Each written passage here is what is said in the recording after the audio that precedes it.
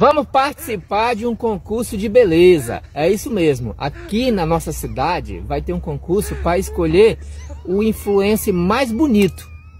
Né? Só que o cara falou que só tem vaga para um. Ele gostou de mim da Selma, mas só tem vaga para um. Então vou ensinar para vocês como é que comenta, que é para mim ficar dentro, entendeu? Vocês comentam assim, ó. O Gesiel é lindo. O Gesiel é bonito. Ou então, se você não quiser comentar assim, ó, fala o seguinte, fala assim, a Selma é feia, a Selma perde, entendeu? Que aí, entendeu? De boa. E eu sei que a maioria é mulher que segue a gente, e acha um bonito, né? Então. Amor, o que tá fazendo aí, amor?